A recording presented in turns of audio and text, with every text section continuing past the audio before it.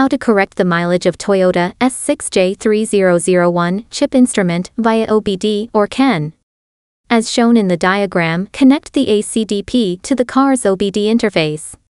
Open ACDP app. Confirm in top right that ACDP programmer is bound. Click Module. Click Toyota ODO. Click OBD CAN reset mileage. Select the option based on the instrument model. This video uses the S6J3001 instrument as an example. Click Identify Info. Click Continue. Check if the mileage is correct. Click OK. Identify Info Finish, click OK. Click Reset KM Data. Click Continue. Click Continue. If enter programming mode error, please remove the ODO and try the bench plug-in method. After exiting the operation, remove the instrument.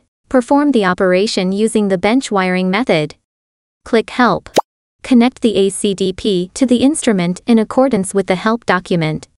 Click S6J3001 ODO. Click Reset KM Data. Click Continue. Click Continue. Click OK. Please save ODO data. Please note to back up the file's path, date, time. The file name should end with orig bin. Click OK. Click Continue. Click on the mileage, clear the existing value, then enter the new mileage. Click OK. Click Continue. Reset mileage finish, click OK. Click Identify Info. Verify that the calibrated mileage is correct. Click OK. Click OK.